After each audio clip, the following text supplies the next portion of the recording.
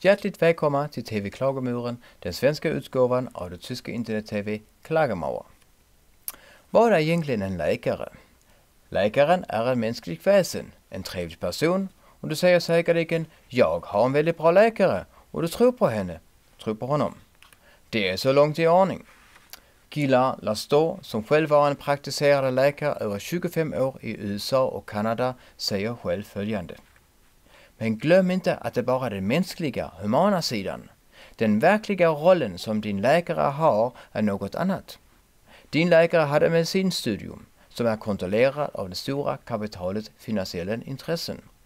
Vad din läkare lärde är dikterad av människor som följer dessa finansiella intressen. Detta skedde utan att din läkare visste något om det. Alla vetenskapliga dokument och facktidningar, alltså allt som ges för den vidare fortbildningen, tjänar farmacins stora affärer och inte patienterna, de sjuka människorna. Du måste förstå det.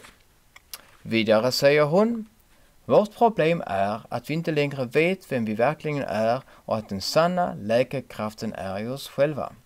Därför ger vi vår makt till någon utomstående, till läkaren och medicinen. Det är väl en sak att tänka över, eller? På återseende.